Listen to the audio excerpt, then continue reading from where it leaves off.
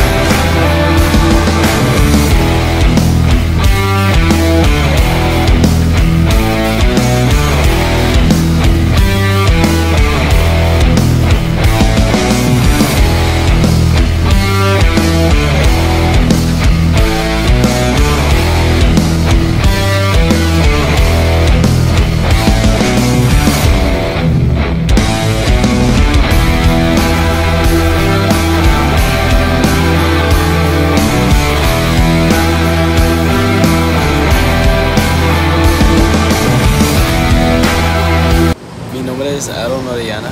¿Haces algún deporte?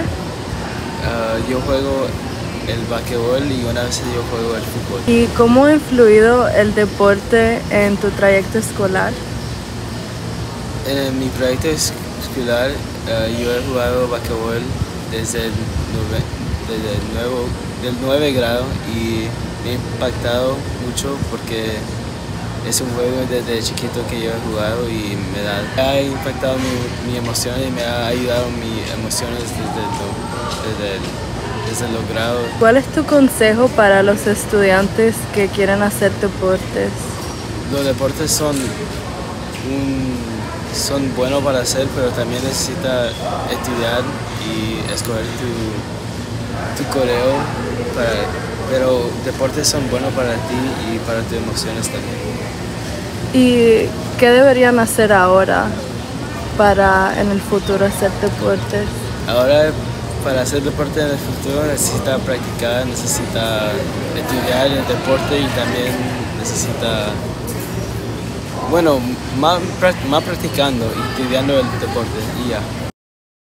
Gracias por ver este video. Espero que has escogido tu futuro deporte en Coral Gables, la escuela secundaria. Hasta luego.